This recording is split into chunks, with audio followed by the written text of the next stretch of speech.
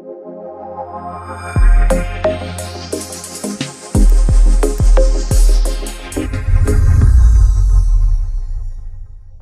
children, let's understand a wonderful concept of suspension. We are already dealt with the solutions. It's a good time to begin with suspensions. So look at the examples here. We have muddy water, we have medicines, we have wheat flour or chalk powder in water. What do they make? They make hazy and heterogeneous solutions, right?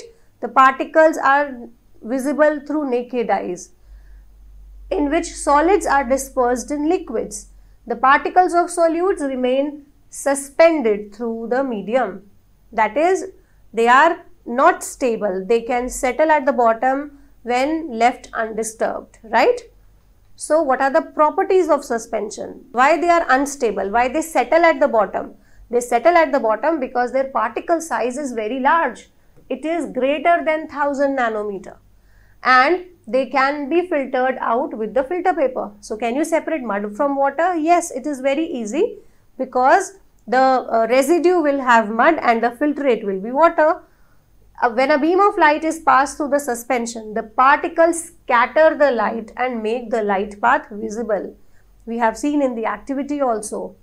On leaving a suspension undisturbed, what will happen? The particles settle at the bottom and suspension becomes unstable. Right? I hope you have understood. Thank you.